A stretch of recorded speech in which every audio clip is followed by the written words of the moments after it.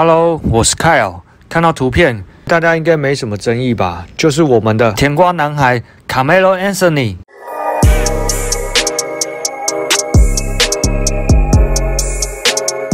Melo 的投篮，想必大家都是非常认同，好看。但他的投篮动作其实细节很多，而且很致命啊！所以我今天就来为大家分析一下 Melo 的投篮动作。那我们就开始吧。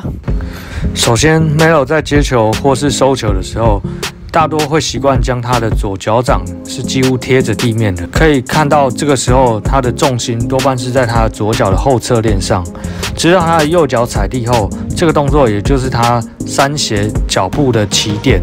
那接下来可以看到他双手跟右脚，他会同时的做动作，而 Melo 的右肩手肘。都会习惯的往前延伸，那这个动作呢，防守者就会因为为了要避开而产生一小段的空间，那这个时候他就会利用右脚往下出力去带动左脚起跳，所以你会看到他的两边脚跟其实是不一样高，这样的起跳方向会让整个身体向斜后上方延伸出去。此时可以看到 Melo 的上半身会出现一个比较大的旋转幅度。而这个旋转幅度就会让他的右肩手肘可以往更高的高度去延伸出手啊，增加他的出手高度。那大家其实也可以试试看，你在身体朝正前方情况下，将你的右手举高，然后不要放下，接着再让你的胸口朝左边旋转，你会发现，哎，我的右手往前延伸了。好，那回过来，我们再接着从正面角度来看。在 Melo 起跳前，他的手肘其实是往外打开的，但当他起跳，身体发生旋转的时候，他手肘跟身体就接近成一直线了，然后就 bang 命中。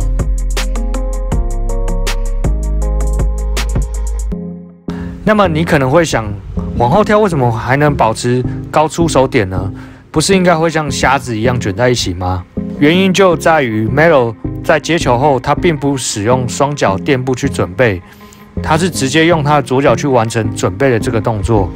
那也就是因为这个身体的惯性，让他的三节脚步这么具威胁性。OK，总结来说，如果你想要做到卡梅拉·安森尼投篮，你需要一单脚接球下蹲，二一接球即固定上肢的动作，三利用挺上半身的方式带动下肢的起跳，四。